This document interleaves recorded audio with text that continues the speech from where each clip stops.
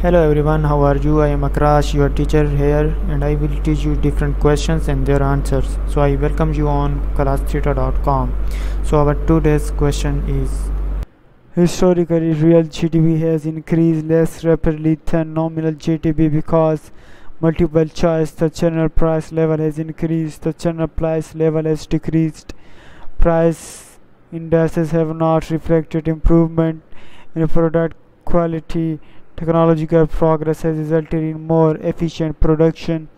And the answer of the question is the correct answer is the general price level has increased. This is because nominal GDP measures the total value of goods and services produced in an economy at current prices whereas real GDP adjusts for inflation by using constant prices.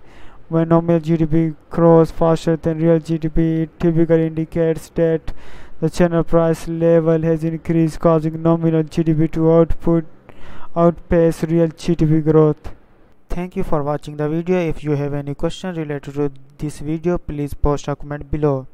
If you have any question in your mind, you can also post on the website and I will be answering you in the next video. Thank you for engaging with us. Until next video, bye bye.